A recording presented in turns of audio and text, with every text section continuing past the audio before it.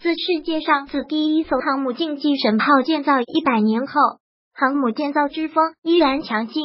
从纽波特纽斯到上海，世界上几个主要的海军强国目前正在建造航母，而且采用新型航空技术，如隐形、防区外武器和无人驾驶飞行器，整合到航母平台。现代航母作战能力越来越强。据不完全统计。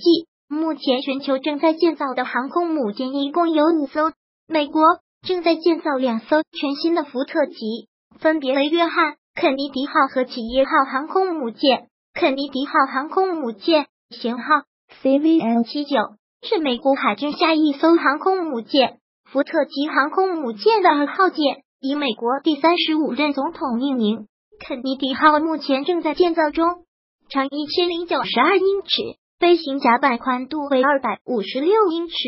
这艘航母满载排水量十万吨，船上有四千四百五十人的船员，包括船员、飞行员和海军陆战队员。一旦完成，肯尼迪将能够携带超过七十五架固定翼有人驾驶飞机、无人驾驶飞行器和直升机。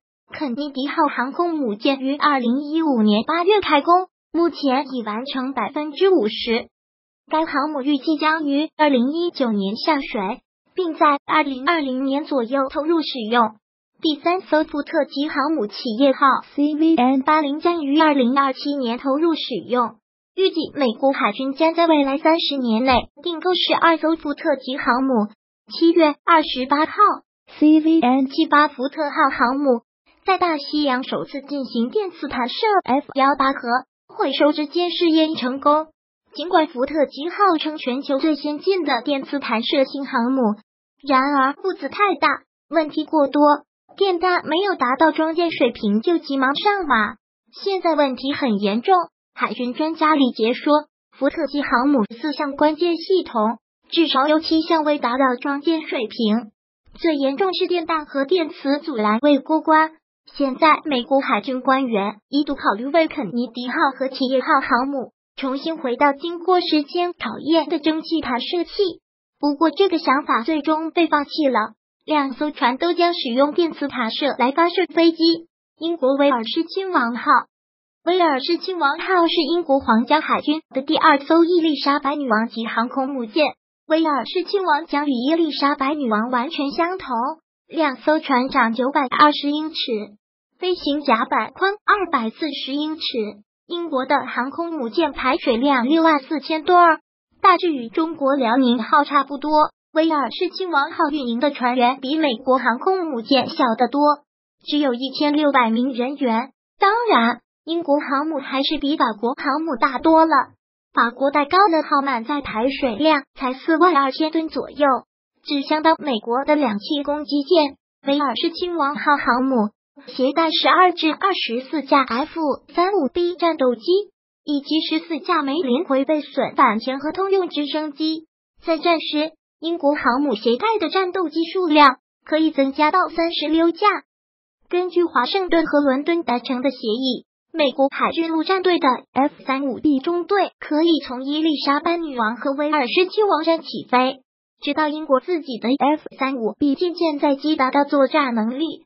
威尔士亲王号于二零一一年开工，该船于二零一七年由伊丽莎白女王正式命名，目前正处于西装过程中。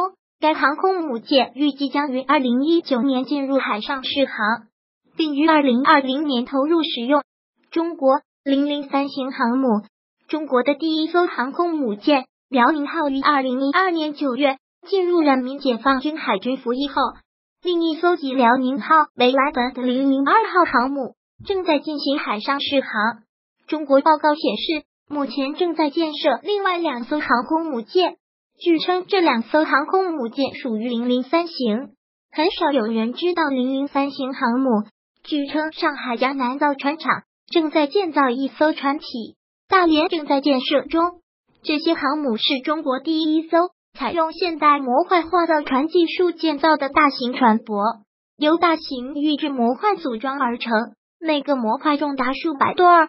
由于中国的海上核动力推进计划仅限于潜艇，并且大型航母所用反应堆复杂、规模大，因此零三三航母预计将按常规方式提供动力。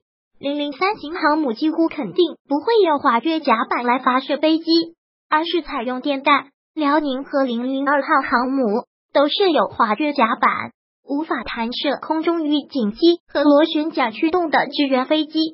此外，滑跃甲板对固定翼飞机的燃料和武器重量有限，严重限制了它们的性能。然而，使用电磁弹射系统将使新航母能够发射全系列飞机类型。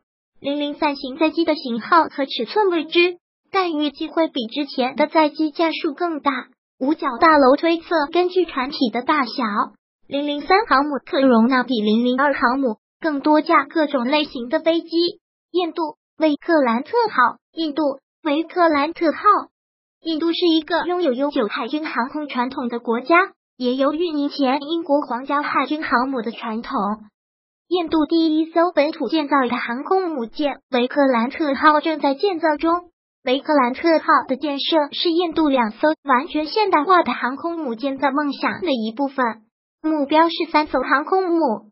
维克兰特号于二零零八年在科钦造船厂开始建造，一晃十年过去了，还达不到服役要求。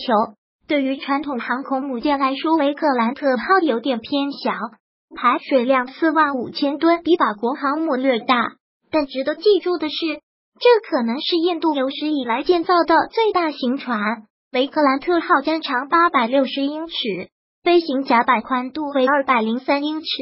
与印度的旗舰维克拉玛蒂亚号 （INS Vikramaditya） 航母一样，维克兰特号将关滑跃起飞和阻拦着陆。拦截装置和其他设备是从俄罗斯采购的。维克兰特号预计将运营三十架飞机，包括二十架米格二十九 K 多用途战斗机和十架直升机。维克兰特号本来预计将于二零一八年投入使用，但生产和技术问题迫使延迟进入二零二零年十月，也有可能拖到二零二二年。同时，印度第二艘国产航母 AS 阿瓦卡维沙尔正处于设计阶段。维沙尔预计排水量达六万五千吨，比维克兰特号大三分之一，并可能采用美国的航母技术，特别是电磁弹射器。这是印度海军最大的梦想。不过，美国要出售给印度可能有点困难。印度与俄国有军工合作，美国恐怕其泄露给俄罗斯。如果喜欢本视频，请分享并订阅本频道，别忘了按赞哦。